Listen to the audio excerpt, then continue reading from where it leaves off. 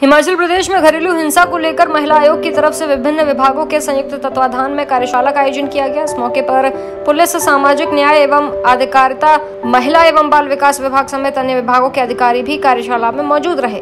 देखिए, आज ये जो कार्यशाला है, ये हमारा जो डोमेस्टिक वायलेंस एक्ट है, उसके बारे में ये हमारे सी जो है डीपीओ जो है डीपीओ के अंडर सी हैं, हमारे प्रोटेक्शन ऑफिसर्स हैं, उनकी ट्रेनिंग के लिए है।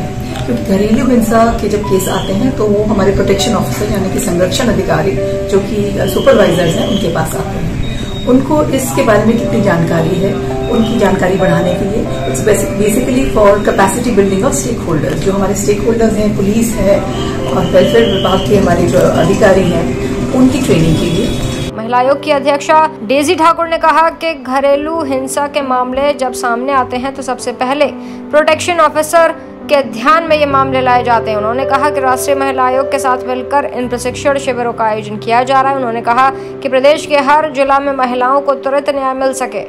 इसी को लेकर प्रत्येक जिला में इस तरह की कार्यशाला का आयोजन किया जा रहा है।